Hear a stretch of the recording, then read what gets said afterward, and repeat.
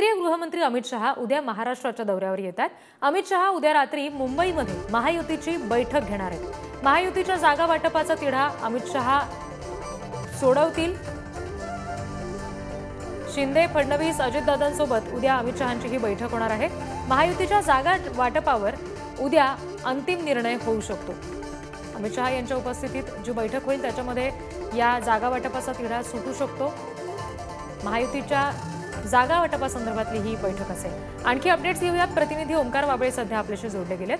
ओंकार कशा पद्धतीचं नियोजन असेल अमित शहांच्या दौऱ्याचं? आणि विशेषतः उद्याच्या बैठकीसंदर्भातले काय अपडेट्स आहेत?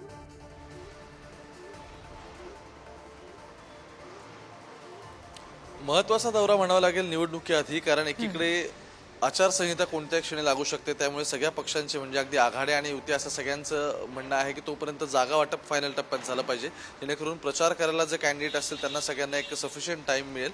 पण उद्याचं भे- उद्याची जी मुंबई व्हिजिट आहे ती वेगवेगळ्या अंगांनी बघावी लागेल. एकीकडे एकनाथ शिंदेचं असं म्हणणं आहे की साधारण तेरा खासदार जे त्यांच्यासोबत आहेत तर साधारण किमान जे विद्यमान खासदार आहेत तेवढ्या तेरा जागा तरी मिळाव्यात. ज्या तेरा जागा त्यांना मिळत नाहीत त्यांना साधारण नऊ जागांपर्यंत मिळतील असं दिसतंय. दुसरीकडे अजित पवार गटाचं म्हणणं आहे की चार ते पाच जागा लोकसभेला कशा काय लढता येतील? साधारण नऊ जागा नऊ ते अकराच्या दरम्यान त्यांना सुद्धा जागा हव्यात.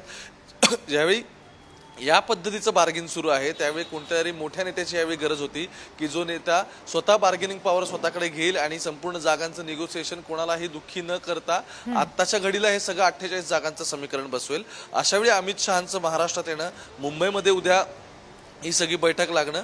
आणि सह्याद्री गेस्ट हाऊसवरती अमित शहा असतील त्यानंतर सेकंड हाफमध्ये उद्या बैठक आहे. संभाजीनगरचा दौरा आहे तो करून अमित शहा इकडे येतील.